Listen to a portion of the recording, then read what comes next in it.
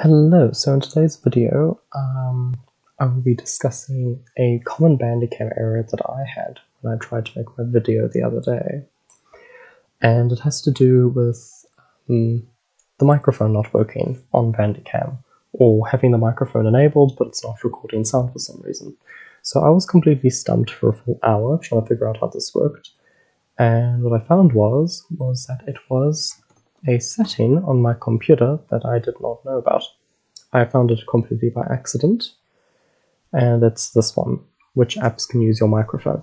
So you want to make, want to make sure that this is on, or else Bandicam will not be able to record. Thanks for watching.